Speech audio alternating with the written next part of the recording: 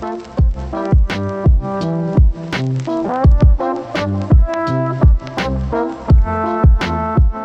tuned into the Lo-Fi and Chill Hop Radio with Ol Wallace. Don't forget my Backcountry EP is out on April 19th, just in time for 420.